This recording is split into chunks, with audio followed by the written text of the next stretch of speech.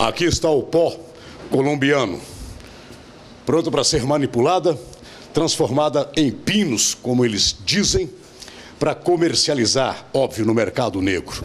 E aqui, o dinheiro oriundo do tráfico, aproximadamente pouco mais dois mil reais.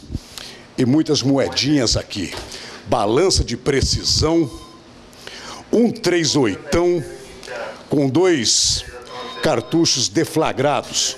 Um belo trabalho da Rádio Patrulha, do 11º Batalhão da Polícia Militar de Campo Mourão e da ROCAM, que é a ronda ostensiva com apoio de motocicletas.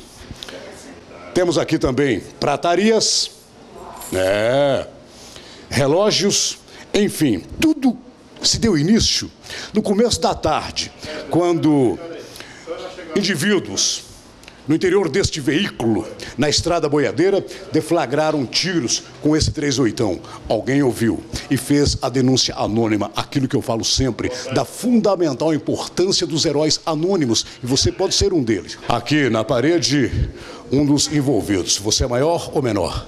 Menor. Menor. Quantas passagens já pela polícia? Primeira. Primeira. E um 33 nervoso, hein? Como é que foi que a polícia chegou nesse flagrante até você?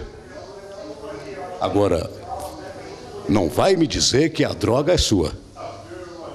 É tua droga? Sim. Você que residia na kitnet? Sim, senhor. Chamou a irresponsabilidade para ele, alegando que a droga é dele. Isto é uma forma de livrar o maioridade.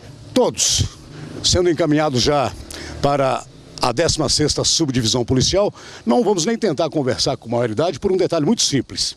Como o menoridade já disse que o bagulho é dele, os maiores idades também vão dizer a mesma coisa. Não, o bagulho não é nosso, não. O bagulho é do menor idade. É sempre deste jeito. A polícia, o Ministério Público, juízes, nós, repórteres e apresentadores de programas policiais, sabemos muito bem disso.